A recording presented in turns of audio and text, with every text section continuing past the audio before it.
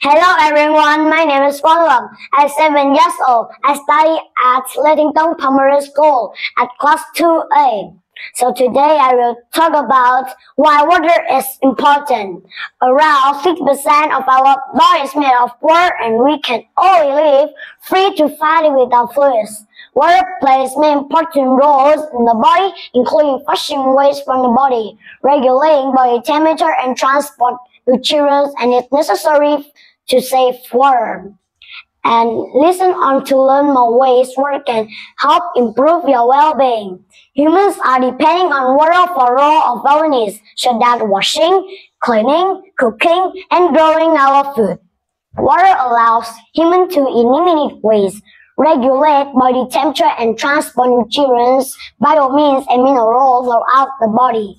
Much of our fresh water is used outdoors for watering lands, flower beds and vegetable gardens, as well as washing cars and filling swimming pools.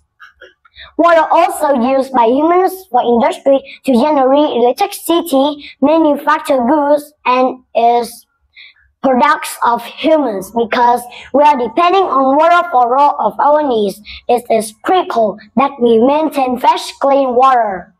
Many plants and animals live in the water or must be near water to survive. For example, fish must live in the water to survive because they get oxygen from the water to survive.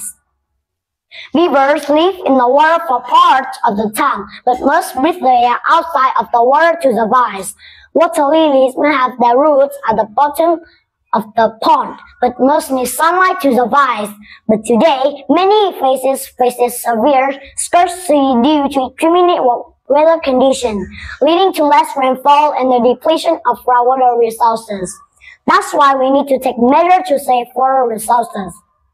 First, be responsible to save water daily. Use only the required amount of water and avoid wastage. Second, we should not let tap run while washing hands and face. Third, we should water plants in the evening or early morning to minimize evaporation. Fourth, we can make people aware by water problems by means social campaigns and other means. Fifth, we should educate our children by water problems from an early age. Six, reusing the water can be safer and save the water and is used in the future. Seventh, we should use the water in the groundwater and its prevalence of the water and is in the future.